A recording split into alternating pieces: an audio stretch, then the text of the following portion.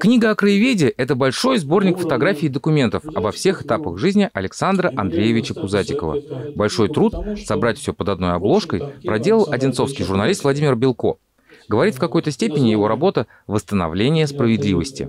В прошлом году было сто лет со дня его рождения, но э, в городе это событие прошло как-то, на удивление, незаметно. Благодаря Александру Пузатикову мы неплохо знаем современную и древнюю историю края. Тем не менее, автор книги «Фотолетопись летописца» считает, что Александр Андреевич явно был недооценен. Занимался поисковой работой вместе с детьми, со школьниками, э, создавал музеи школьные, в Доме пионеров, потом вот общегородской, историко-краеведческой. И поэтому для нас, для нашей истории, для нашей памяти он сделал чрезвычайно много.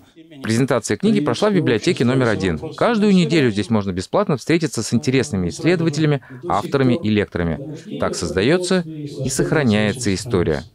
Тимур Гайсин, Олег Мещерский, телекомпания «Одинцова».